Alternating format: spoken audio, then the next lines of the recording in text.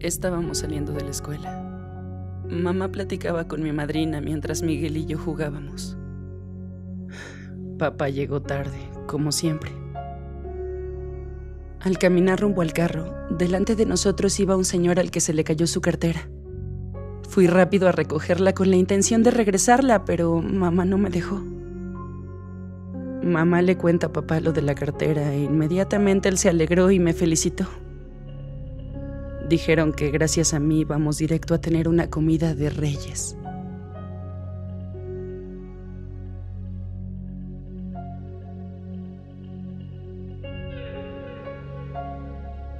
También recuerdo cuando iba a entrar a la secundaria.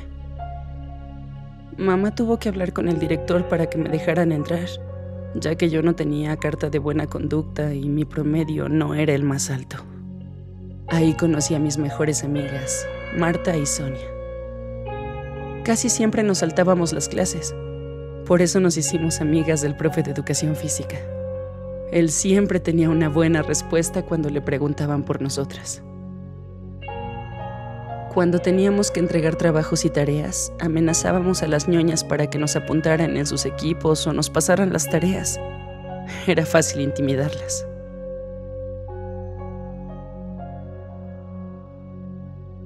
A veces me sentía mal, pues recordaba lo que el padre Pablo nos decía en el catecismo.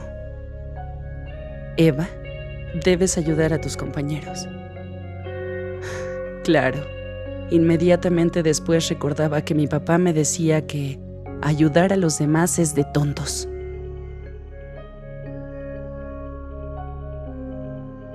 Una vez nos fuimos de pinta con nuestros novios. Casi siempre íbamos a una cantina clandestina que era la única donde nos podían vender alcohol. Al tercer año de la secu, Marta quedó embarazada de Paco. Él la dejó. No se hizo responsable.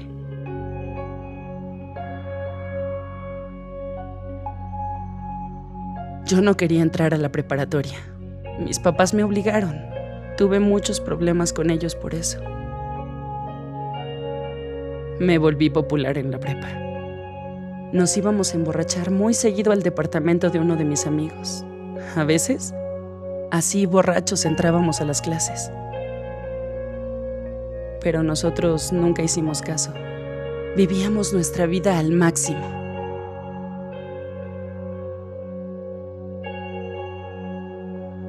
Una vez mi madrina me encontró muy borracha. Casi ni me acuerdo. Pero me llevó a su casa y me cuidó hasta que se me bajó.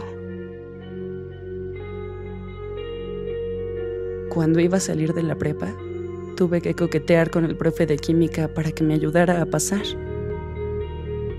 Aunque no me sentí muy bien, al final tuve la mejor calificación del salón.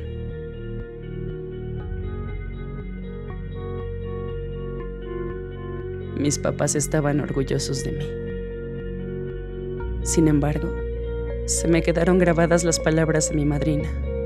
No hagas cosas buenas que parezcan malas, ni malas que parezcan buenas.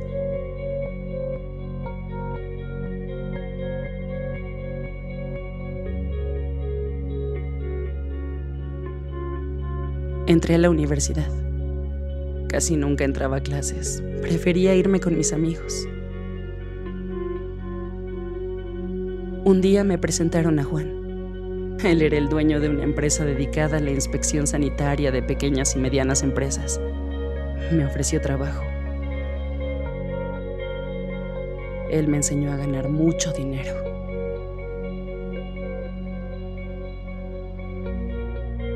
Compré el título de licenciada en Relaciones Internacionales.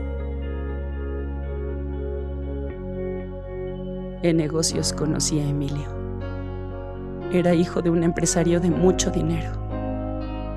Comenzamos a salir. Él era sencillo, guapo, con dinero, educado y muy amable conmigo. Después de salir un tiempo con Emilio, él me ofreció trabajo en la empresa de su papá. Yo acepté, con la intención de ganar más dinero, prestigio y poder. Aparte que dentro de la empresa iba a poder hacer más negocios con Juan.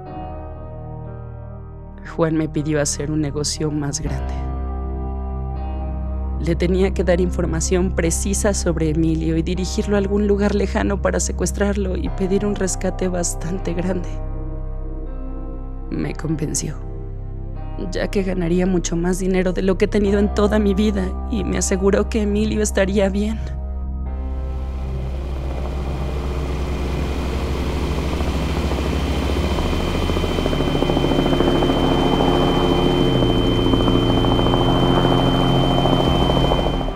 Todo parecía tan real. El dinero en nuestras manos. Emilio gritaba y lloraba, pero yo sabía que él estaría bien. No contaba con que el papá se puso en contacto con la Fiscalía Antisecuestro.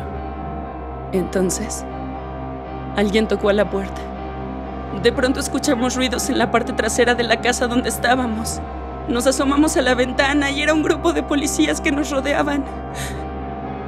Emilio seguía gritando y Juan le pedía que cerrara la boca. Recuerdo que le quité la venda de los ojos. Perdía al gran amor de mi vida. La policía entró a la casa.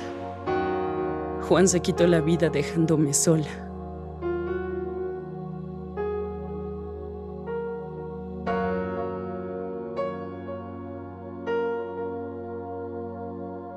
Pude haber cambiado tantas cosas.